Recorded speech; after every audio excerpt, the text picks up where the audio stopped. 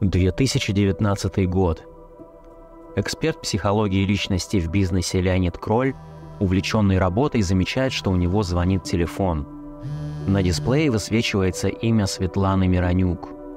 Это был звонок с короткой, но важной целью сказать всего одну фразу. «Кажется, вы были правы. Спасибо».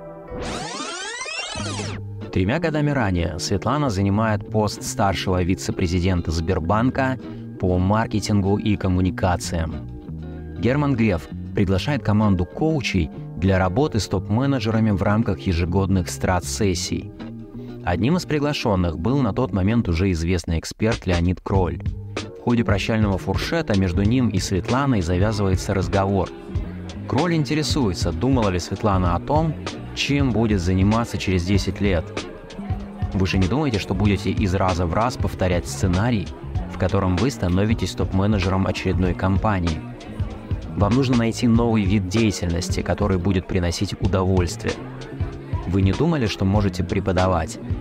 Попробуйте прямо сейчас. Светлана, никогда прежде не мыслившая себя преподавателем, сперва отгоняет эту мысль, но спустя короткое время все же решает попробовать, дабы закрыть эту тему. В высшей школе экономики лектора с такой управленческой экспертизой принимаю с большим энтузиазмом, Однако, прочитав лекцию, Светлана подводит черту. Точно не мое. Вернусь к этому, возможно, лет через 10. Разговор с Леонидом Кролем довольно быстро забылся. Всплыл в памяти он лишь спустя три года, когда Светлана обнаружила себя в школе управления Сколково, сперва приглашенным экспертом, затем преподавателем, профессором практики и, наконец, проректором – Поймав себя на этой мысли, она берет в руки телефон, чтобы набрать номер и сказать всего одну фразу. «Кажется, вы были правы. Спасибо».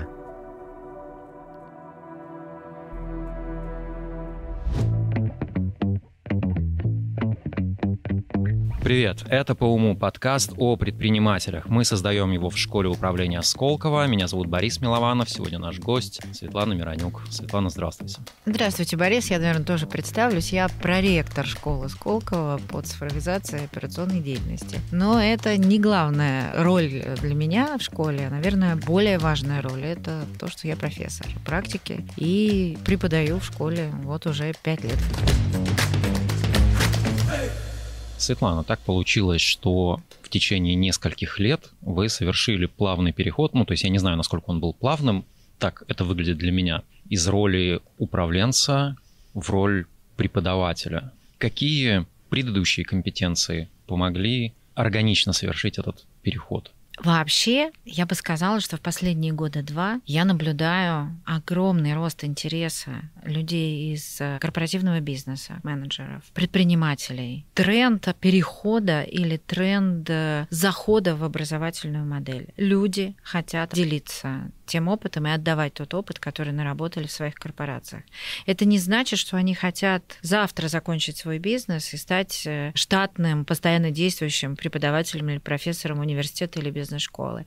Нет, есть запрос на упаковку своих знаний, своего опыта, своих компетенций, своих э, кейсов в образовательные сценарии. До такой степени интересный и большой трек э, запроса, что в школе появилась программа несколько лет назад «Лидеры как преподаватели» ровно для руководителей бизнеса, предпринимателей и топ-менеджеров, которые хотят научиться преподавать. Мы регулярно сталкиваемся с тем, что одно дело, когда ты существуешь в операционной модели, в горячке, в непрерывном принятии сложных решений в своем бизнес-контексте. И совершенно другой опыт, другие компетенции, другие навыки нужны для того, чтобы научиться об этом А. Интересно рассказывать, Б. Выявлять, находить закономерности того, что ты делал, почему ты принимал одни решения и отказывался от других решений. И В. В этом быть еще и убедительным для э, большой аудитории, а не остаться внутри своего какого-то узкого профессионального пузыря,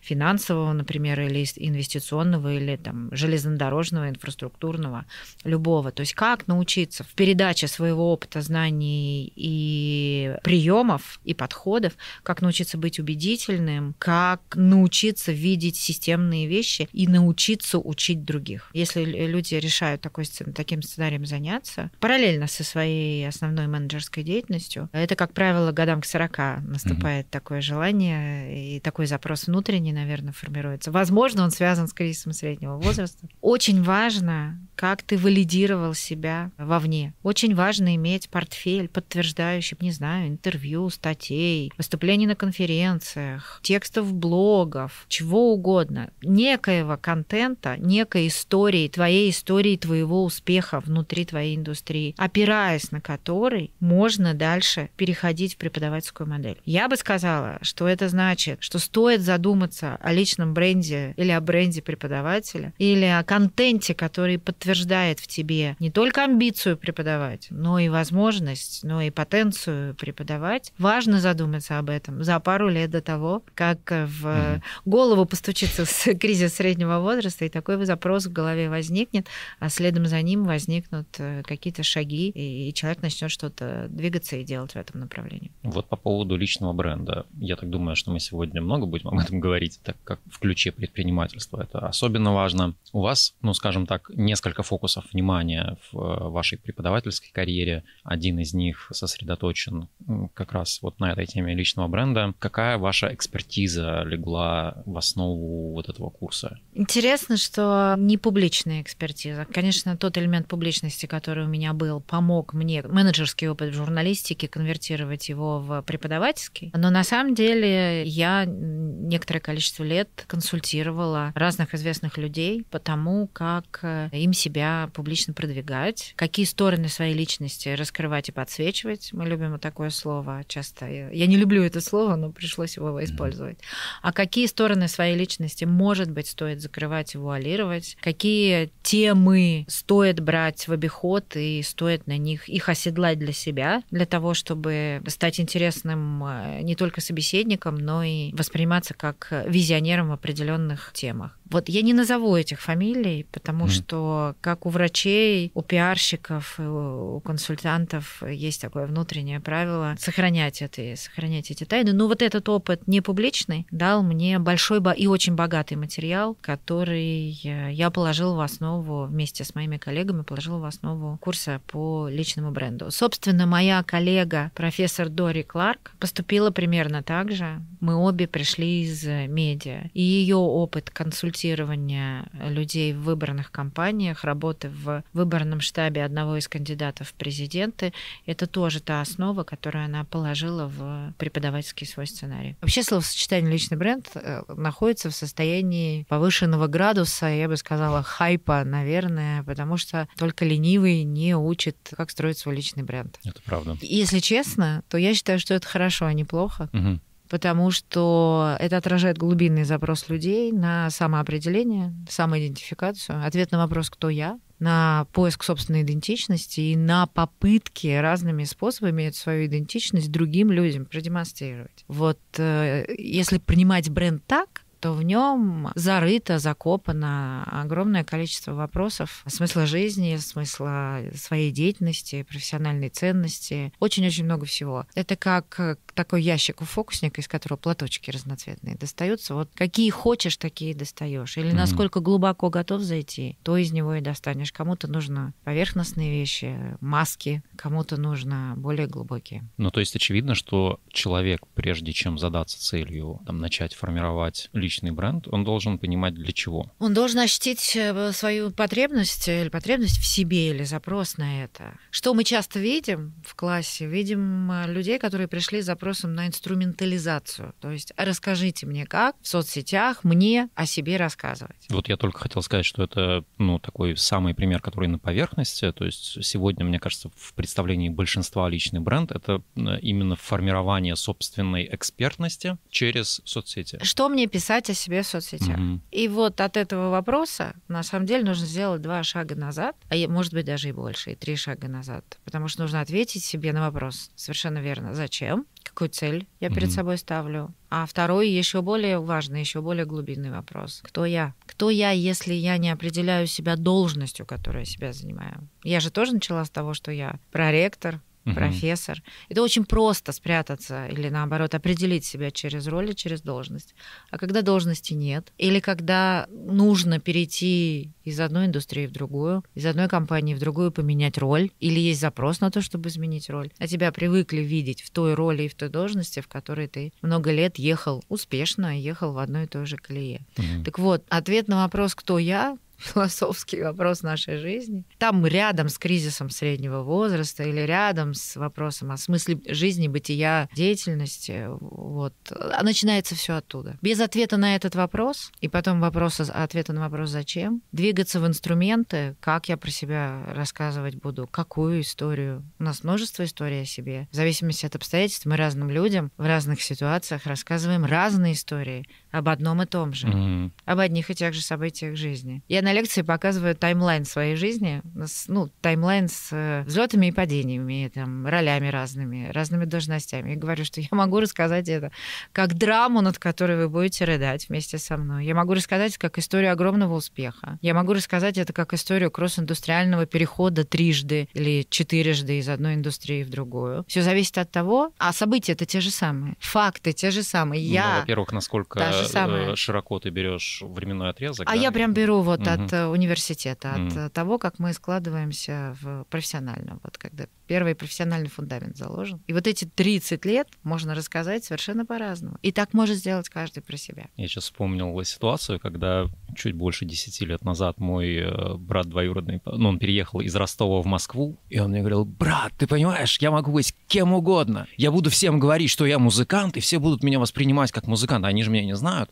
Или я могу всем говорить, что я актер, и все будут уверены, что я актер. Это так, ну... Слушай, подожди, а здесь очень интересное наблюдение у твоего брата. На самом деле, действительно, когда мы меняем среду, это может быть район, переехал Мгм. из одного района в другой, переехал из одного города в другой, переехал из э, одной страны в другую. Неважно. да? У нас с одной стороны э, раскрывается абсолютно чистый лист. Да. Мы на этом чистом листе можем писать что угодно. Все прошлые проблемы, ошибки, факапы, все осталось э, там, где осталось. Но вместе с этим, вместе с чистым листом, мы выходим на арену немножко голыми, потому что у нас очень мало связей людей, которые подкрепляют нас в том, что мы профессиональные музыканты, как сказал твой брат, э, или какие-то профессионалы и специалисты. И, с одной стороны, это шанс на рестарт или на какую-то новую страницу. С другой стороны, это тяжелая работа, которая требует поиска тех, кто признают тебя этим самым музыкантом, профессионалом, преподавателем, лектором, как угодно. То есть в новой среде, в новой отрасли, в новой компании мы, в принципе, повторяем из раза в раз вот это вот обнуление в какой-то степени и достройку, частичная, частичная, и достройку своего профессионального «я» каким-то иным образом. А получилось у него музыкантом-то стать? Да, конечно. А. Но он, правда, он, правда, пошел по другому пути потом. Но в целом... Ну, знаешь, есть этот подход «first you fake and then you make it». Да, да, да, да. Да-да. да. Вот. Ну, Главное верить самому. Тут еще вопрос, насколько далеко ты готов идти, проходить вот эту долину смерти, когда... Когда тебя никто не признает. успеха, да. А когда нет успеха, да. Но он сейчас состоялся в другой отрасли, он работает в рекламе и очень успешный арт-директор. Я смотрел ваше интервью для Вышки, которое вышло недавно. Я бы, кстати, его рекомендовал всем, кто нас слушает. Вы там говорили в том числе о репутации и о том, что репутация и личный бренд, это, для меня это было открытием, что это разные вещи. Мне все-таки казалось, что это немножечко в одном. Но вопрос мой в другом. В российском контексте еще было слово имидж. Оно умерло, слава богу. Вот, Э, я ну, про- да, но было слово имиджмейкеры, Мгм. если вдруг ты слышал в начале 2000-х. Конечно. Много компаний, которые связаны с коммуникациями, назвали себя там имидж-лаборатория, имидж-ленд, я не помню, вот какие-то такие старинные названия. Да. Да. потому что такая подмена понятий произошла. Я вот как раз, да, про российский контекст хотел спросить. Что имеют в виду, когда говорят, что в России нет института репутации?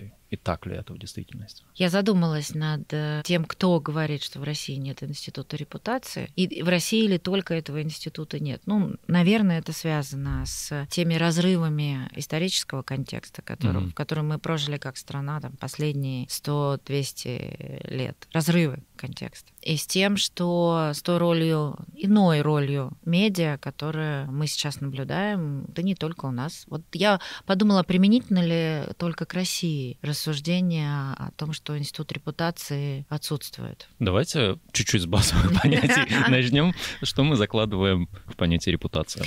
Репутация — это прошлый опыт взаимодействия с человеком или компанией. В основном или чаще всего по одному или нескольким критериям и чаще всего в одной профессиональной сфере. Даже язык нам это подсказывает. Угу. Он, у него даже по, э, определений или прилагательных, которые со словом репутация сосуществуют, не очень много. Репутация может быть хорошая угу. и плохая. Еще может быть неоднозначная. Это все лексическое многообразие. Ну, если я что-то выпало у меня из головы, подскажи. Давайте я тогда э, сделаем так. Я приведу пример, от которого, возможно, нам будет проще отталкиваться. Я просто хочу провести аналогию с кино, так как я немножечко имею к этому отношение. Допустим, в Голливуде очень высокая степень лояльности к дебютантам. И там даже есть отдельные студии, которые работают по принципу венчурных фондов. То есть они ищут свежую кровь, им интересно новаторство, они поддерживают молодых творцов, но в ситуации, когда фильм проваливается в прокате, этот режиссер, скорее всего, больше ни одного крупного контракта никогда не получит. Ну, во всяком случае, там ему и его агенту нужно будет приложить большие усилия для того, чтобы это переломить. У нас человек может сделать 10 провальных картин и получить деньги на 11 только потому, что у него есть опыт работы на 10 проектах. Как это работает? Ну, я думаю, что здесь другие механизмы, угу. нежели репутационные. Работают вот, связано раз. ли это с тем, что нет института репутации? Два, ну, нет, я бы здесь увидела совершенно другую экономическую ага. составляющую, очень большую, потому что одно дело конкурентный голливудский рынок и цена денег, которая угу. вложена в проект, который не дал отдачу, совершенно другое, когда эти деньги не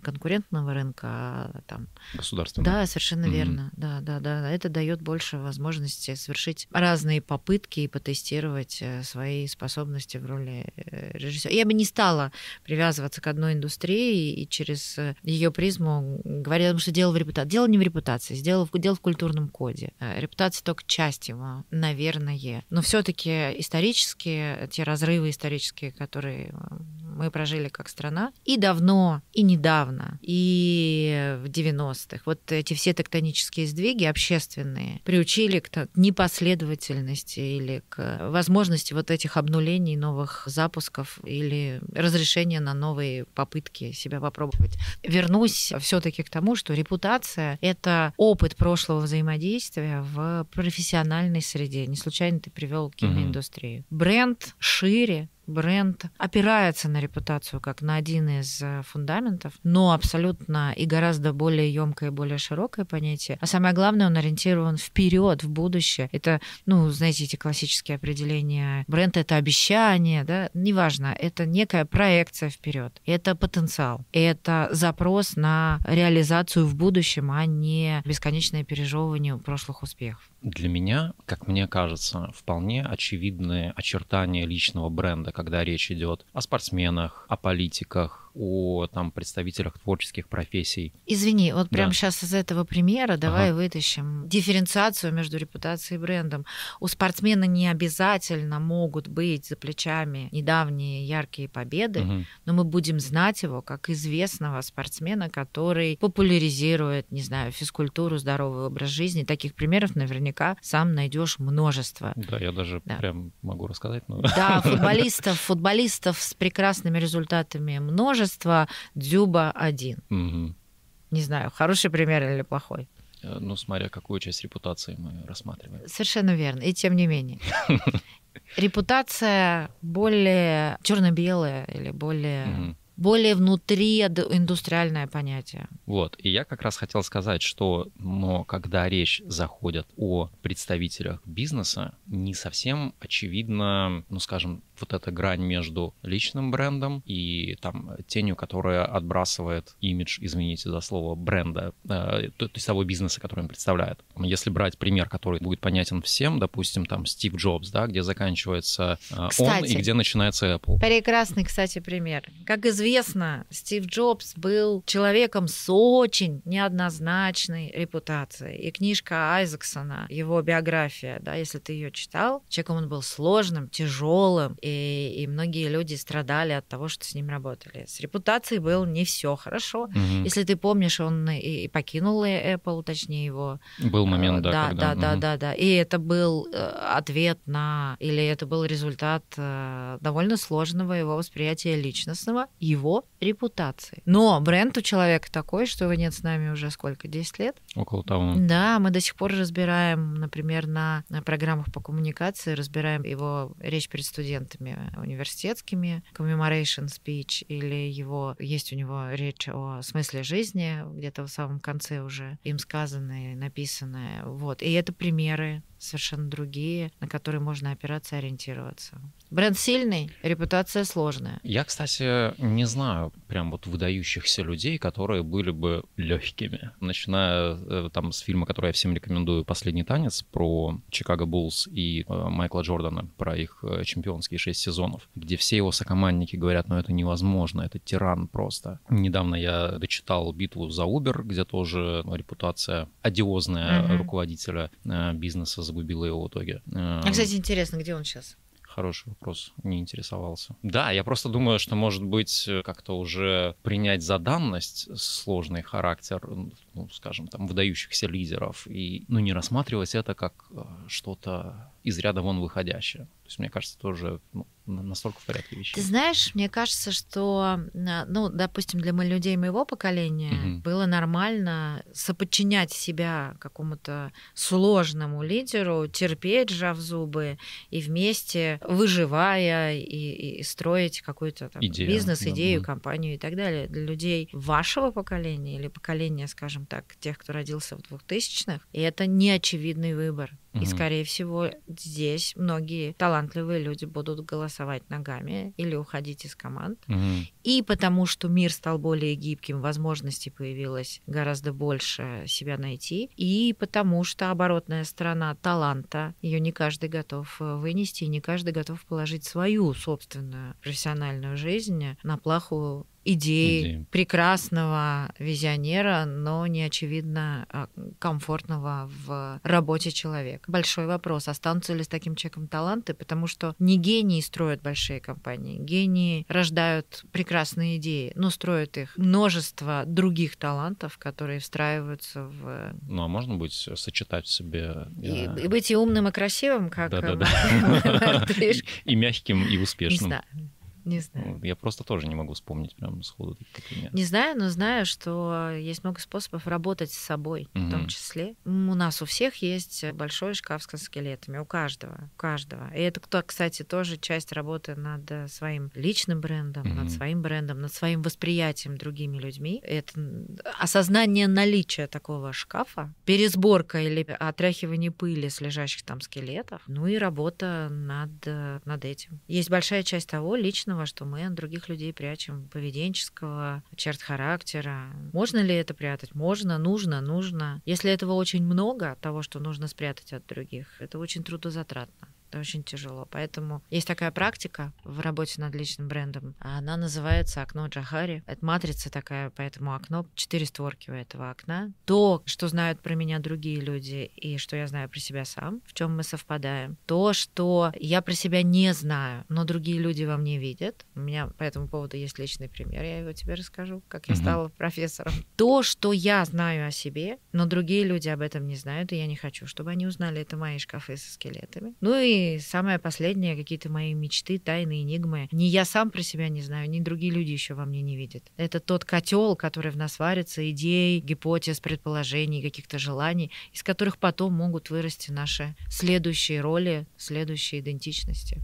Так я к чему про это Мгм. Джахари вспомнила? К тому, что над блоком, в котором спрятаны скелеты, можно и нужно работать, чтобы окружать себя талантами и иметь возможность реализовывать свои идеи с талантами, а не, с- а не с теми, кто, кто готов терпеть. Я хотел этот вопрос чуть позже задать, но так вы удачно к нему подвели. Мне кажется, что вы меня не помните в той роли, но где-то с 2009 по, там, получается, 13-14 год. Я работал у вас в одном информагентстве, и я, когда рассказываю там друзьям и знакомым о том периоде, я всегда говорю о том, насколько я вот ощущал заботу работодателя о себе. Ну, это, не только я рассказываю, это действительно так было. Я, когда за вами наблюдал, все время подмечал ваше умение собрать классную команду менеджеров. Реально людей, которым интересно не держаться за место, а интересно делать результат. В связи с этим у меня два вопроса. Первый какими качествами обладает человек, глядя на которого вы думаете, вот это точно со мной? А второе, когда вы формируете новую команду, вы думаете о том, какую роль займет там каждый отдельный человек или об органичности команды в целом?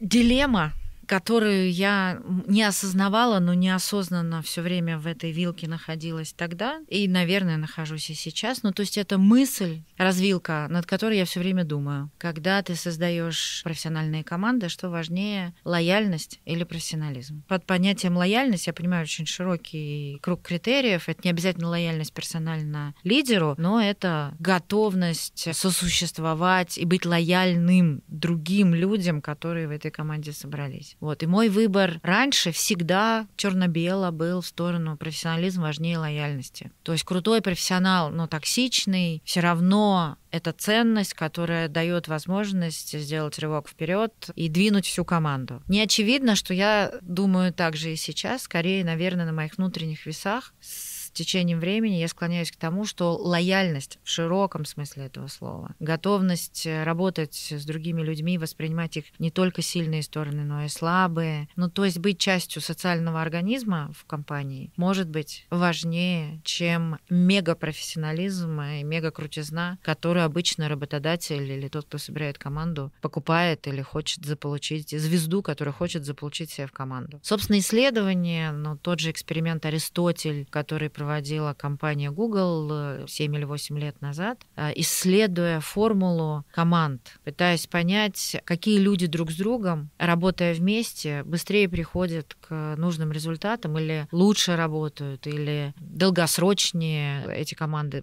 талантливые команды собираются. И вот набирали в команды звезд, набирали в команды среднячков, набирали разных, набирали врагов, которые друг с другом, значит, спорят и ненавидят друг друга, набирали, наоборот, близких друзей и искали вот эту формулу, в которой люди могут друг с другом максимально эффективно взаимодействовать. Результат очень простой, очевидный. Мы его знали по умолчанию, но ему есть и экспериментальное подтверждение. Сосуществование, комфорт существования людей друг с другом, психологическая безопасность, которую они ощущают. А что такое психологическая безопасность? Это отсутствие токсичности. Мгм. Это когда ты не чувствуешь себя уязвимым и не уязвляешь никого другого. Оказалось единственным дифференциатором результативности команд. Поэтому в исторической дилемме профессионализм или лояльность похоже, что нужно искать профессиональных людей с высокой степенью готовности принимать других, и только такие группы и такие команды, похоже, будут или, вероятно, будут более эффективными. Я сейчас быстро, чтобы резюмировать. Человек, работающий э, ну, там, на уровне, скажем, топ-менеджера, показывает классный личный результат, ну, то есть по своему направлению, но при этом совершенно не встраивается в коллектив. Он остается или уходит? Нет, подожди, кроме уйти. Мгм. Кроме уйти еще можно можно начать работать над собой. То, чему мы в школе учим, и то сила чего, мне кажется, до конца еще и не осознана, саморефлексия. Это способ не уйти из очень интересной команды, из очень масштабного проекта, но осознав свои токсичные стороны, начать над, ни- над ними работать. Остаться или работать, или уйти. В тему же лояльности читал, не вспомнил уже какому изданию, очень давно это было ваше интервью, и у вас интервьюер спросил, чего бы вы никогда не смогли простить. Я это запомнил, потому что, ну, на мой взгляд, очевидным ответом, которым, мне кажется, ну, там 90% людей бы ответили, это было предательство. Вы помните, что вы ответили? Нет, Я даже не помню вопроса. Равнодушие. серьезно? Да. А я у меня сейчас новый ответ есть. А ну-ка. А может простить все. Ну, если мы не говорим с тобой о преступлениях Мгм. В отношении личности, то есть мы не затрагиваем то, что лежит за пределами закона и морали Да, и этики, да? То есть мы все-таки ограничены этим. То простить можно все. Что поменялось? Мы всегда меняемся. Мы Мне кажется, что это путь, который мы проходим. Не знаю. Простить можно все, да. Простить нужно. Это такие... Мы с тобой от бренда ушли, между прочим. Сейчас вернемся. Это такие гири, саморазрушения твои, твои обиды на других людей, это твои гири. Это твои цепи, это твои кандалы. Понимаешь, это не их проблемы, это твои. И если ты готов эти кандалы дальше тащить 10-15 лет своей жизни, ну только надо ответить на вопрос, зачем? Этих людей уже нет, этих обид уже нет, это, этих обстоятельств уже нет, а ты все еще тащишь эти кандалы ну, внутри То есть, видимо, себя. в тот момент вас это как-то триггерило, тема равнодушия. Черт поэтому... его знает, не знаю. Мгм. Простить можем все на самом деле. А, Возвращаясь... э, Вот смотри, про возвращаясь. Ты хочешь найти опору в нашем разговоре в моем профессиональном прошлом. Мгм. Точнее, не хочешь, ты ее оттуда и берешь. Ну, потому что это то, что мне понятно. А я сделала, и это тоже часть работы над личным брендом преподавателя, огромную работу за эти 10 лет для того, чтобы отстроиться от одной индустрии Мгм. медийной и встроиться в другую, в образовательную. То есть трансформация или переход из одной области в другую — это не только смена места, роли, вида деятельности, что ты делаешь, но и валидация или приземление себя в другом сообществе людей. Это важную работу, которую я не сразу осознала, но осознав, я ее проделала, и я ее рассказываю, как ее нужно и можно проделать. Нужно научиться отсекать старые связи, как не цинично это звучит. Старые профессиональные отношения, если ты, как твой брат, решил из э, кого, не знаю, кем он был в Ростове. Ну, учился. Ну хорошо, если ты Мгм. учил, решил, поменяв место жительства, поменять вид деятельности, на этом новом, с этим новым видом деятельности себя показать во всей красе и получить признание людей. Нужно отрезать большую часть ростовских друзей начать находить друзей московских. Это работа, которую я проделала. Я отрезала медийный контекст, медийные отношения. А вот это непрерывное желание опереться на свой прошлый опыт и рассказать истории из прошлого. Истории из моего прошлого профессионального мне сегодняшней жизни нужны очень мало. Они мне нужны только иногда, как иллюстрации в моей образовательной деятельности и не очень часто. Ну, я, кстати, поспорил бы, потому что, мне кажется, я обращаюсь не к медийному вашему опыту, а к К управленческому. управленческому. Да, наверное, тогда Мгм. соглашусь. Тогда соглашусь. Да, Ну, в общем, тогда вывод ага. еще, который хочу зафиксировать в нашем разговоре. В создании своего бренда ты не строишь его в чистом поле, ты точно не строишь его в социальных сетях или где-то еще. Ты создаешь его в восприятии других людей. И вот те, те другие люди, которых ты выбрал для того, чтобы они тебя признавали музыкантом, профессором или художником, или каким-то специалистом, или инженером, вот именно эти люди и есть часть твоего процесса создания Мгм. тобой личного бренда. вообще тема личного бренда, она очень сильно перекликается с теми вопросами, которые я часто поднимаю там, на этом подкасте. Это вопрос о том, а что должны делать предприниматели для того, чтобы культивировать себя. И мы об этом э, в том числе разговаривали э, с Леной Бондаренко, она сидела, я говорю, ну, не кажется, что предприниматели недостаточно делают для того, чтобы создавать культ образа предпринимателя в России? Она говорит, слушай, оставь их в покое, и так они очень много делают. Мне тоже кажется, что предприниматели очень много делают. Они сильные и талантливые популяризаторы. Да, они могут это делать э, с точки зрения реализации своих бизнес-задач, но они создают прямо образ совершенно новой касты или кластера или э, социальной группы, Мгм. интересный, не очевидно, э, что этот путь простой. И вообще, я думаю, что далеко не каждый решится принять на себя такой риск, чтобы стать предпринимателем. Это правда. Ну, потому что это у нас сложно. С одной стороны просто, а с другой стороны мега сложно. Хорошо, давайте представим гипотетическую ситуацию, что где-то нарушаются права предпринимателя. Мне кажется, что в России этот человек не получит лояльность общества в ситуации, когда нарушаются его права. Большинство людей будут думать, ну что-то украл, наверное. Так ему и надо. А вот, э, ну, допустим, там в публичной коммуникации, о которой мы чуть-чуть еще поговорим, ну, как опыт показывает, очень важно то, чью сторону занимает общество.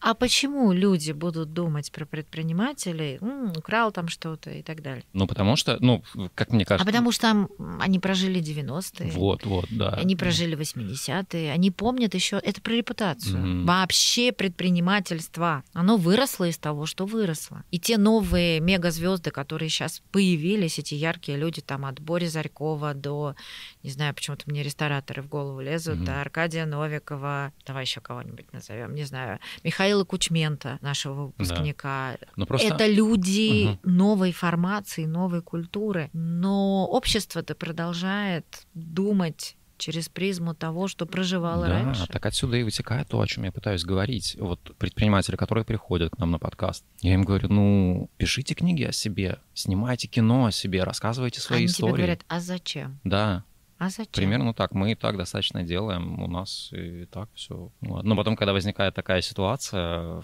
ну, люди реально недоумевают, а почему нас так воспринимают. Потому что есть вот этот самый прошлый след, Мгм. потому что общество очень инерционно думает, в том числе и от предпринимательства, и потому что культура предпринимательства отсутствовала 70 или 80 лет, э, ну, не знаю, после НЭП, наверное. Не на что опереться, нет исторической традиции. То есть она осталась, но где-то далеко, в конце 19-го, начале 20 Ну века. хорошо, а кто должен сегодня, на ваш взгляд, заниматься формированием правильного образа предпринимателя и следить за тем, чтобы это правильно считывалось обществом? Никто. Ну, есть, наверное, институции всякие, э, которые, которым это может быть поручено. На самом деле это стихийный процесс и органичный, он как-то сам сложится.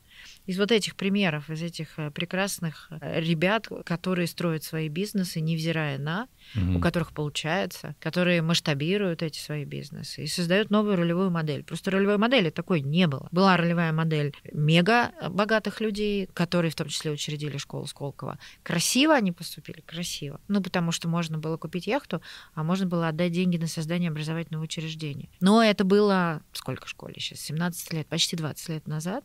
Мгм. Новая среда, новые, новые ролевые модели предпринимателей в очень суровое время. Ну и новые, новые вот такие примеры поступков, взятых на себя социальных ролей, социальной ответственности, желания не только в своем бизнесе добиваться чего-то, но менять э, правила игры или менять регуляторику, или менять стандарты, или менять отношения. Вот. Я думаю, что все будет само по себе. Я на этом подкасте в том числе очень много рассказываю о том, как у меня у самого менялось отношение к предпринимателям с того момента, как я попал в школу А, Сколково. ты тоже прожил этот путь Конечно, от э, Да. барыги Да, до, да, я не знаю еще До чего. новатора. До новатора, да. И вот одним из людей, которые сделали большой вклад э, в эту, ну, там, мою трансформацию личную, был э, Рубен Варданян. Я не вспомню конкретную ситуацию, но, скорее всего, это какое-то какое собирательное впечатление от нескольких его выступлений. Он транслировал мысль о том, что, окей, мы поняли, как зарабатывать деньги. Мы можем заработать много денег, можем заработать очень много, но встает вопрос, а что дальше? Он всегда настаивал на том, что предприниматели, бизнесмены, коммерсанты должны думать о том, а что дальше уже сейчас. Ну, то есть задавать вопросы наследия. И в этом плане, кстати, школа Сколково — это полностью результат такого мышления, потому что основатели школы не получают ни копейки с доходов, что школа сама, Сама по себе существует НК, на то, НКО, что... из школы НКО по форме. Да, и Мгм. что пожертвования идут исключительно на гранты для э, обучения талантливых Чтобы студентов. люди разных социальных Мгм. слоев могли прийти сюда учиться. К вопросу э, о наследии, в вашей биографии есть факт о том, что вы на общественных началах преподаете в Московской школе благотворительности. А, филантропия профессиональная. МШПФ она называется. Мгм. Московская школа профессиональной филантропии. Вот. Вам это для чего? Это вот вклад в наследие? Ой, я так не думаю, нет. Ну, то есть я не думаю словами, сейчас пойду делать вклад в Мгм. наследие. Нет. Я давно с фондом «Друзья», который эту школу создал Мгм. и развивает ее. И это такой интересный, очень развивающийся проект. Самый интересный его этап наступил несколько лет назад, когда именно школа профессиональной филантропии позволила собирать представителей третьего сектора со всей страны, привозить их где-то дистанционно учить, где-то привозить в Москву и такое создавать сообщество филантропов, благотворителей, руководителей фондов, которым они взаимообогащают друг друга. Ну и если туда еще в этот котел вкинуть э, дополнительных знаний, каких-то социальных практик, э, какого-то опыта, маркетинговых подходов, коммуникационных, то там люди жадные до знаний, новых навыков и новых инструментов, mm-hmm. которыми они могут более качественно и более эффективно оказывать э, помощь другим людям. Поэтому это для меня, ну это для меня важный, важная часть моего сердца. Это не в районе ума, это в районе сердца. И, но ну, не только в школе профессиональной филантропии. Сейчас договорилась с фондом э, Вера и те образовательные программы, которые Нюта делает э, по своей линии, Нют Федермейсер, mm-hmm. вот, и, и туда тоже. Я бы даже сказала, что сама, наверное, напросилась поехать туда mm-hmm. попреподавать немножко, да. Это интересно. Вообще все другое вне школы очень интересно. В школе в последнее время часто слышится словосочетание пробоно. Что это такое? Почему мы в школе Сколково стали делать на этом акцент? В этом огромная роль э, Александра Стальча Волошина, который возглавляет э, совет учредителей школы, который ну, помогает школе выстраивать э, свою стратегию и соответствовать той миссии, ради которой она когда-то 20 лет, почти 20 лет назад создавалась. Это его идея, что а, в школе могут учиться и должны учиться руководители крупнейших фондов третьего сектора, потому что, приходя в классы, приходя в программы, происходит то самое взаимное обогащение ценностями, взаимное обогащение идеями, вовлечение в корпоративную или в любую форматы социальной социальной ответственности. Ну, в общем, это хорошо, когда третий сектор появляется рядом с предпринимательством. И а, вот из этой идеи выросла программа определенной квоты руководителей фондов благотворительных, которые мы на определенных условиях в школе отбираем, если они высказывают желание здесь учиться, и включаем в классы, сажаем, как мы говорим, сажаем в классы, даем им возможность вместе с предпринимателями, осваивая новые знания и получая новые практики, выстраивать отношения, делать общие проекты, включаться в волонтерскую деятельность. И, ну, и в общем, это огромная ценностная польза. Они на разные программы? Они включаются в разные программы, да. Расходы по их включению несет на себе школа. Это часть миссии школы. Коль уж у нас подкаст обо всем. Предприниматель. Обо всем. Да, да, ну, уже, уже обо всем, видимо. Да. Я не могу не спросить, есть ли у вас какой-то прогноз относительно будущего индустрии?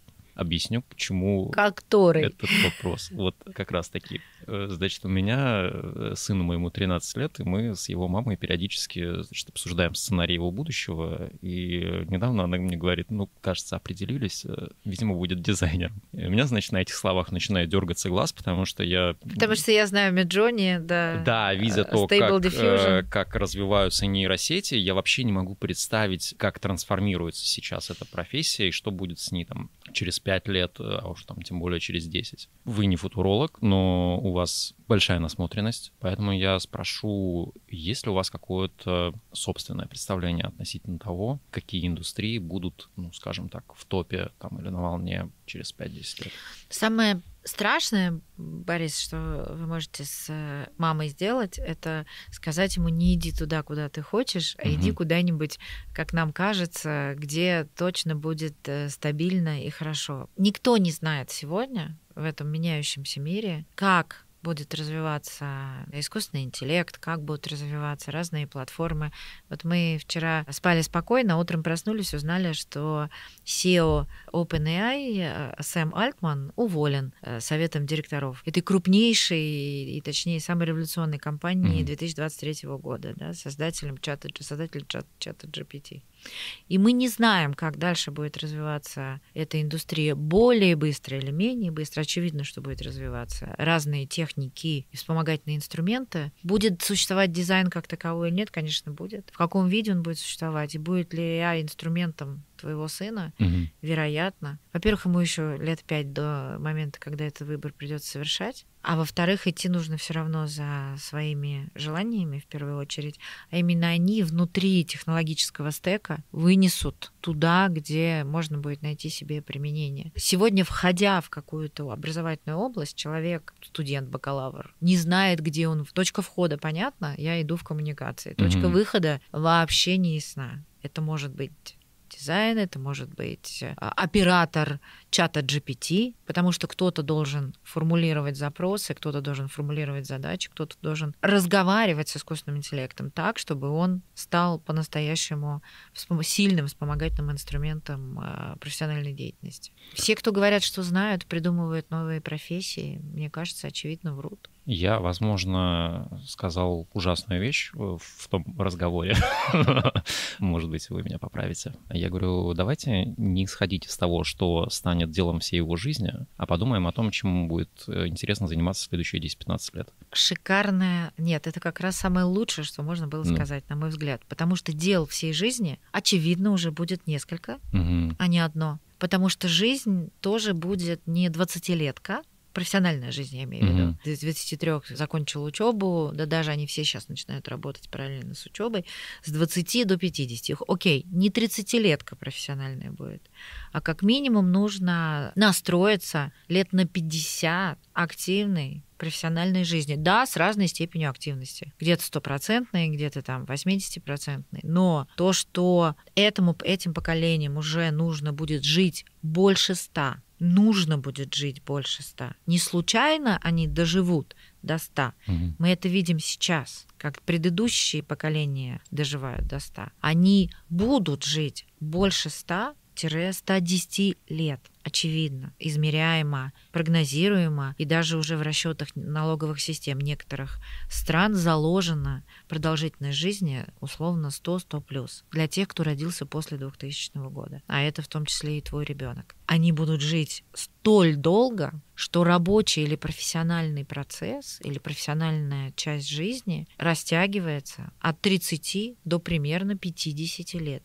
За 50 лет не доехать на одном образовании невозможно. Ни одно дело жизни. Нет, ну, конечно, будут великие музыканты, певцы или композиторы. Ну, кто действительно случайно или, или специально найдет вот это угу. вот одно дело жизни, но в разных трансформациях или в разных э, э, форматах будет его реализовывать. Ну, таких будут единицы. А очень многие за жизнь будут менять свои профессиональные принадлежности, свою Интересно. профессиональную интересы и идентификацию. Сейчас мы пока говорим о сценарии, когда ты переходишь из индустрии в индустрию, но несешь в себе ну, так или иначе сконфигурированную представление об одной и той же ценности. Ну, вот на моем примере, например, я из индустрии в индустрию, из пиара в коммуникации, из коммуникации в маркетинг, из маркетинга в образование пронесла примерно один и тот же нарастающий, то есть увеличивающий набор компетенций, но он весь вокруг э, все-таки одного блока профессионального, который называется коммуникации. Mm-hmm. Да? Даже в образовании мой профессиональный академический интерес недалеко ушел от э, этой изначальной профессиональной точки. В других поколениях это будет по-другому. Разучиваться, как говорил Тофлер, переучиваться и начинать и запускать какие-то новые для себя новые роли, новые профессии, новые подходы. Порекомендуйте, пожалуйста, чтиво. Мне кажется, вы много читаете. Там три последних книги. Язык интуиции. Профессор Чикаго Бус Николас Эпли. Я у него училась на его курс я записалась трижды. Я прослушала его курс три раза. Один и тот же. Угу. С одним и тем же контентом. С интервалом два или три года. А это вот как э, пересматривать любимый фильм, да? Да, и... да. Ты каждый раз открываешь ага. новые страницы и, и находишь для себя новые вещи. Это организационная психология, бихеваристика и управление людьми. На русском языке у него всего одна книжка вышла, называется «Язык интуиции» я ее, пожалуй, рекомендую. Вторая книга Стивена Пинкера «Лучшая в нас» модель, которую, или видение, которое я, допустим, не, при, не принимала 10 лет назад, про то, что все в конечном итоге развивается к лучшему, а нам кажется, что становится все хуже и хуже. Интересный взгляд, интересный подход, интересная, интересная доказательная база про то, что на самом деле мир становится гуманнее, лучше и светлее, даже на фоне всех происходящих страшных для нас процессов, которых, на которых нам не хочется думать, от которых хочется спрятаться. И третье, если уж коль мы о личном бренде, угу. Дори Кларк, персональный ребрендинг, по-моему, называется она так точно ребрендинг. Про то, как э, переобуться, переодеться и пересобрать себя для перехода из э, одной индустрии в другую. Мне О, кажется, что вот этот круто. запрос на кросс-индустриальный переход, mm вот это то сейчас, это тренд прям вот последних э, лет. mm Да ты сам его прожил. И я его прожила. И многие другие люди его проживают, и не обязательно это связано с медиа и с тем, что скукоживается индустрия под названием журналистика или видоизменяется очень сильно. Ну и другие индустрии, другими индустриями происходит все то же самое. Поэтому как себя пере и пересобрать, и по-другому себя показать, смочь. Да, там очень много примеров из ее жизни, из ее части мира. Но, тем не менее, советы и видение очень хорошие. Мы в нашем подкасте никогда, мне кажется, не говорили о коммуникациях, и сейчас я понимаю, что совершенно напрасно, потому что, ну, уж точно там в контексте предпринимательства это э, вещь, которая не на последнем месте должна стоять. За то время, пока вы преподаете в Сколково, мне кажется, ну там сотни бизнесов точно прошли через вас, и вы же даете им какие-то кейсы для разбора. Сначала закономерности, угу. потом э, инструменты, а потом кейсы.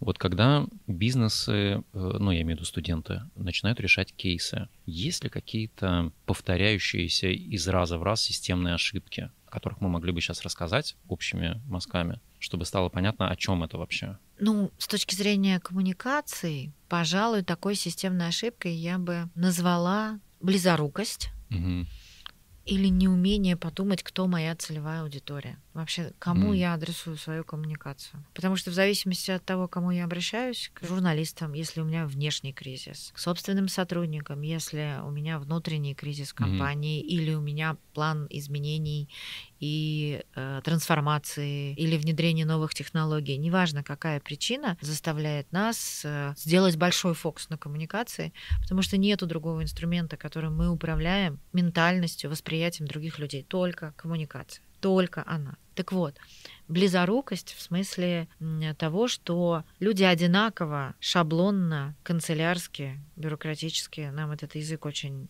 угу. свойственен, потому что за него можно спрятаться, да. за все канцеляризмы. Обращаются к самым разным аудиториям, не думая, что... Там живые люди сидят. Что там живые люди, и что за канцеляризмами ты не передашь ни искренность, ни энергию, ни страдания или сопереживание, ни запрос э, на изменения, угу. если э, цель изменения компании.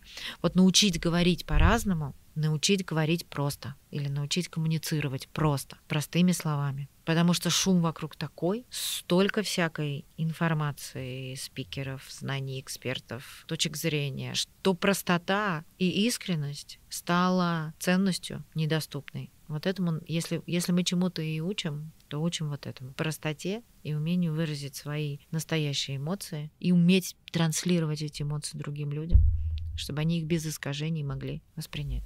Я у наших гостей предпринимателей в конце спрашиваю, а что самое главное в предпринимательстве? А у вас я спрашиваю, а что самое главное в, в личном бренде. Ну, это можно в личном бренде. Ну, я тебе уже ответила тогда, что mm-hmm. самое главное в коммуникации это простота и искренность. Под искренностью мы понимаем эмпатию и умение и свои эмоции, своими эмоциями управлять, и управлять эмоциями других людей. А в личном бренде что главное?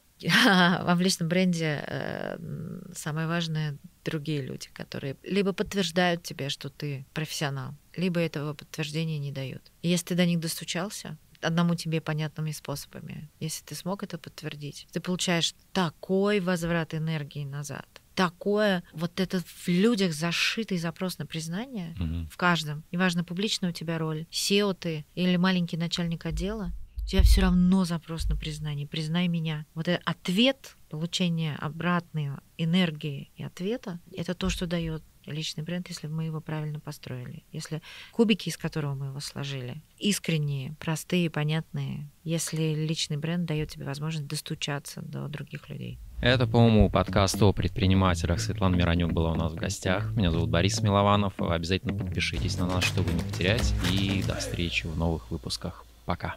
Спасибо.